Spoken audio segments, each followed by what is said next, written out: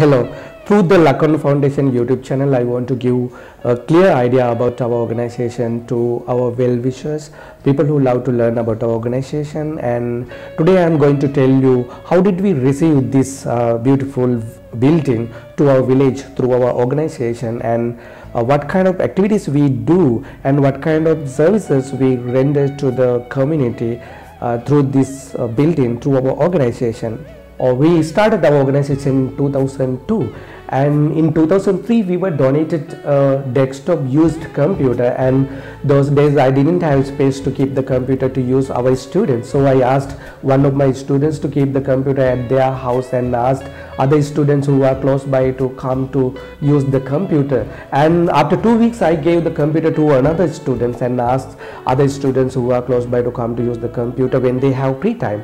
In 2004 we received uh, two brand new computers and a kind hearted person came to help me and they gave me their old house after shifting to their new house.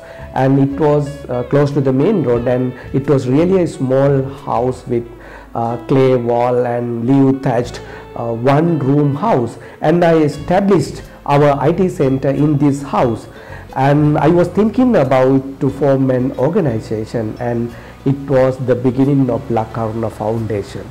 Uh, we conducted our educational activities at here a few years.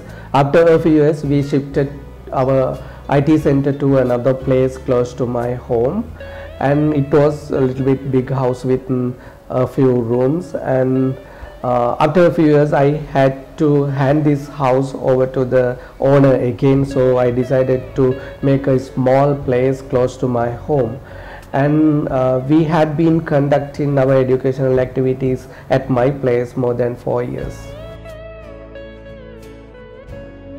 In 2005, the Lak Saviya Foundation from Australia came to know us after taking a look at the paper article that published on Sunday Lankadeepa paper over the victory of island-wide IT competition of our students and a few members of Lak Saviya Foundation made several visits our village and they were impressed after taking a look at the activities we were doing at the village with minimum facilities and they promised us to provide a new building. Mr. Jude, the coordinator of Lak Saviya Foundation made a site visit with the constructor and the agreement was signed in Kandy. Mr. Pradeep, our treasurer and myself participated for the event behalf of Lak Aruna Foundation and the constructions took place after two years and the building was completed within four months. After opening the building, the number of students were increased in large numbers and actually we did not expect this situation.